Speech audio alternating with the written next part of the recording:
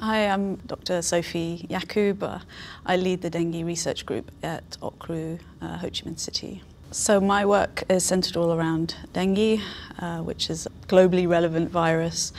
It's a major cause of admission for many hospitals in Vietnam, especially in the rainy season. And globally, there are around 100 million cases of dengue every year, and this is increasing due to many reasons, including urbanization, um, but also uh, in response to climate change and human mobility. To address some of the major issues around the uh, dengue and also presenting some of the expertise we have in our group, uh, we have four sort of major themes uh, for the dengue group. One is to uh, try and improve how we monitor patients. So to see if we can innovate in, in actually understanding which patients will go on to get more severe forms of the disease.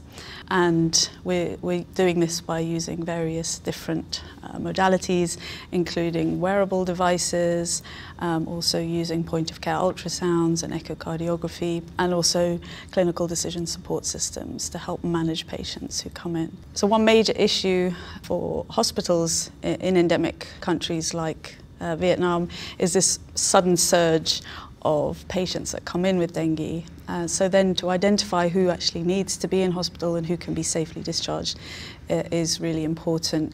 And so we're trying to help uh, understand which patients will go on to get more severe disease and which patients can be uh, safely sent home. So apart from improving uh, clinical monitoring, we're also running clinical trials to improve the outcome of patients. Currently, there are no uh, therapeutics to treat patients with dengue. There's only supportive care. So what we're uh, trying to understand is uh, to look at the underlying mechanism to see which patients uh, would benefit from a, a, therapeutic.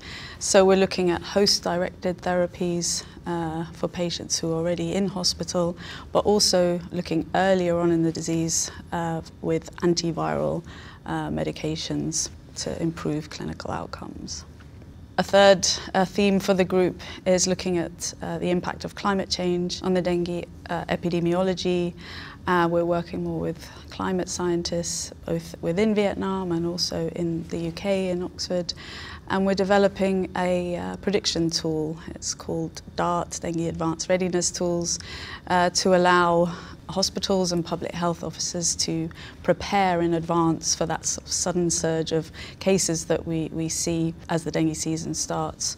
So this is a multidisciplinary project um, involving uh, modelers, uh, clinicians, climate scientists, virologists. The overall aim is to see if we can predict smaller and flexible spatial scale where there will be a dengue outbreak in particularly in cities like Ho Chi Minh City and Hanoi, but we're hoping to expand this work uh, regionally, particularly as dengue is now spreading up uh, altitudinally, so we're seeing major outbreaks now in Nepal and higher up in other cities in like in the Himalayas. That's a new area of interest for us, that sort of intersection between uh, climate and infectious diseases.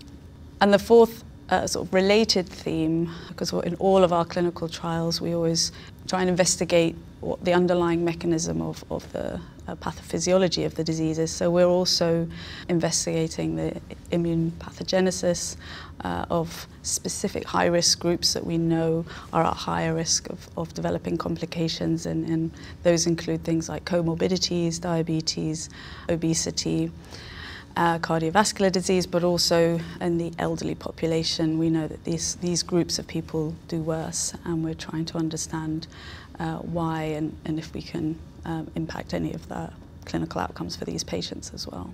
Dengue is a neglected uh, disease. The, in, even in this day and age, we have nothing to offer uh, a patient that comes in except supportive care. So what we're hoping is not only we will in the future we'll be able to predict where the, the cases will occur uh, so we can intervene um, with prophylaxis or, or vector control, but also when patients do present, we will be able to um, offer a, a particular therapeutic, whether that's an early antiviral or, or a later uh, host-directed therapy. We're also uh, hoping to be able to monitor patients better by using wearable devices Uh, so this will help healthcare staff which are really who are really overburdened in in hospitals during peak season, but also to safely monitor patients out of hospital um, uh, using sort of remote monitoring and, and wearable devices. So overall trying to impact health systems but also individual patient care.